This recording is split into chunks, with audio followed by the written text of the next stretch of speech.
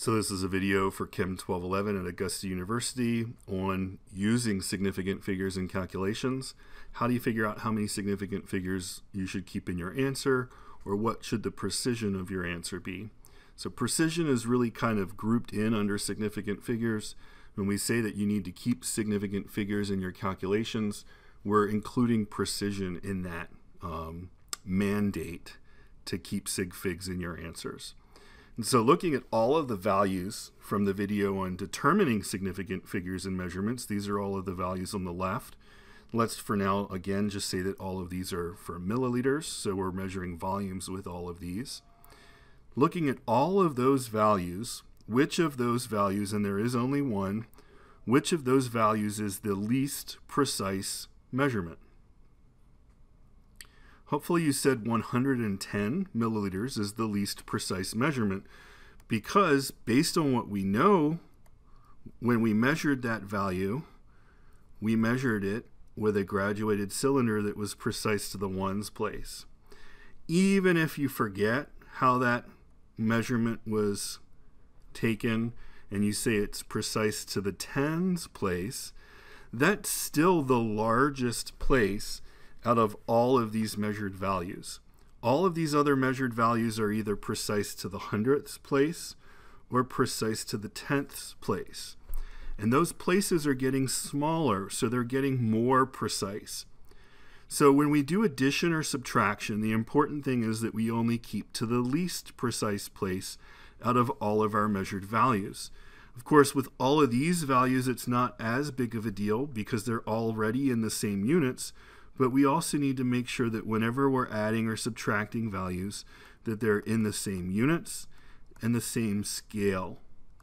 So if you have a value that's in scientific notation and another one that is not, you need to decide whether you're going to put both into scientific notation so that they both have the same exponent, or whether you're going to put them both into regular expressions where there is no exponent and you want to line up the decimals when you're adding or subtracting so that you can see where your precision is with each of the values.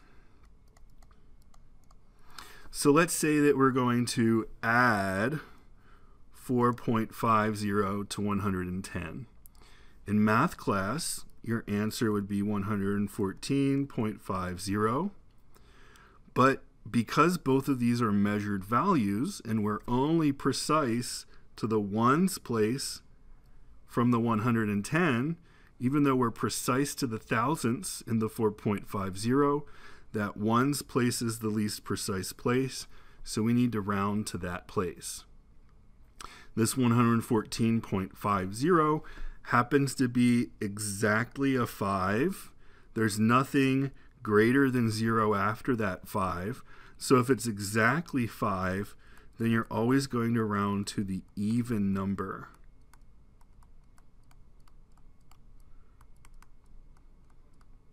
What this avoids is it avoids what we would call a positive bias in rounding, where every time you had it exactly a half, you would round up, then overall your average or your, uh, your values of your data set would be a little bit larger than they should be based on random randomness of measurements.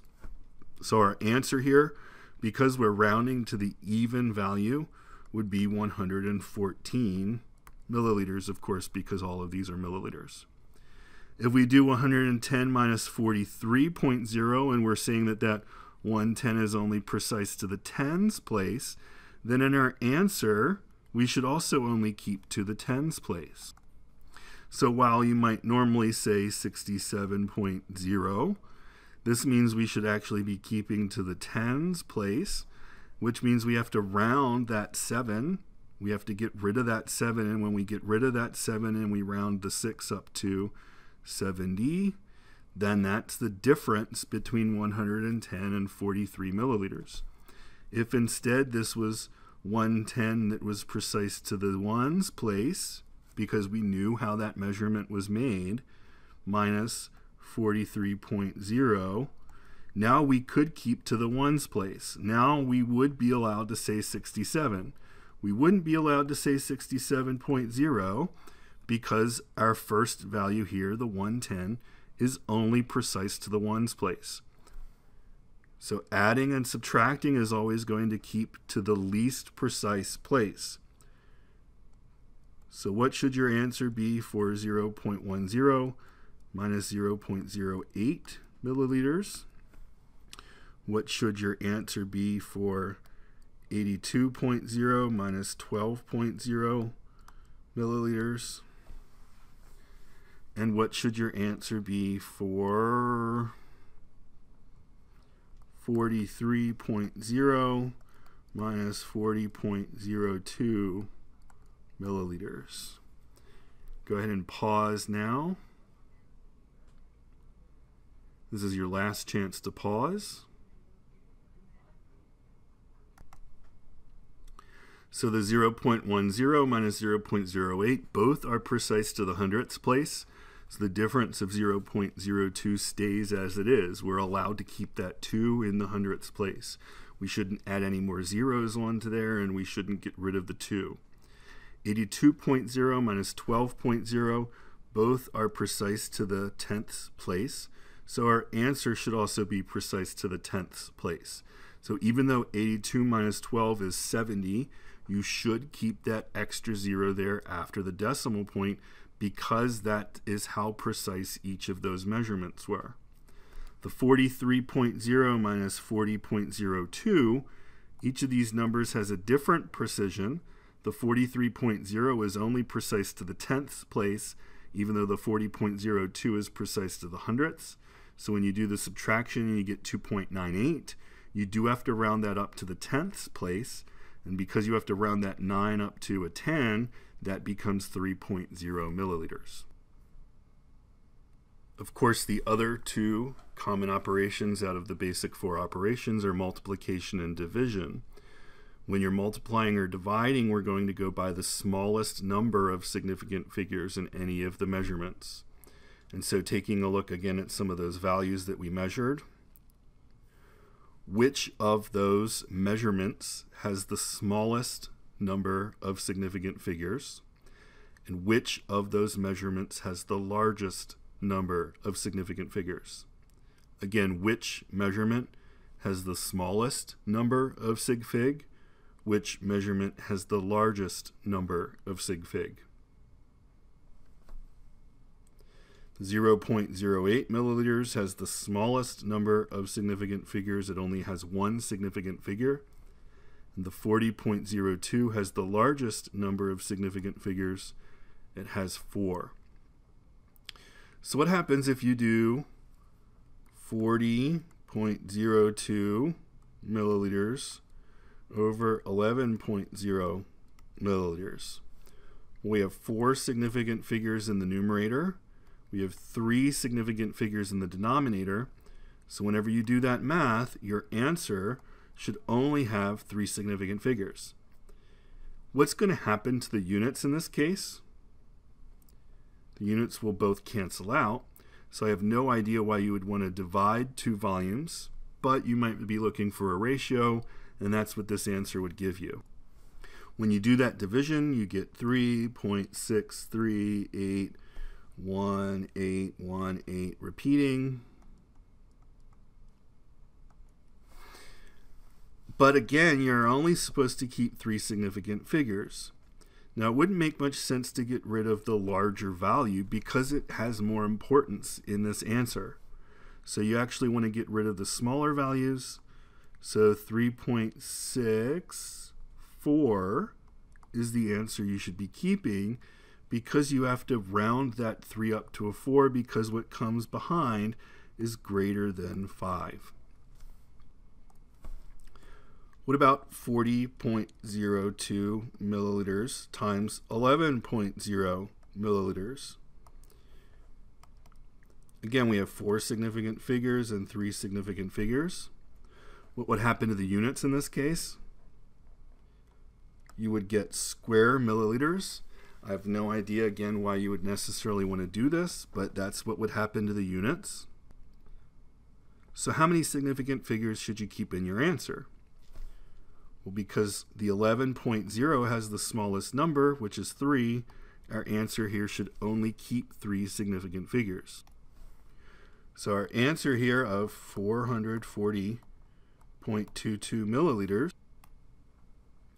is not what we're allowed to keep for our answer. We would only be able to keep 440 milliliters squared, but then this presents us with an issue because there is some uncertainty here. Is that zero significant or not? And so you may see different ways of showing that that zero is significant. Some people might put a bar over that zero. If that zero happens to be in the ones place, you could put a decimal right after it, but don't add any extra zeros. The other way to be sure that you're showing how many significant figures are there is to actually put that number into scientific notation because then however many digits are there in front of the exponent in the scientific notation is the number of significant figures in that value.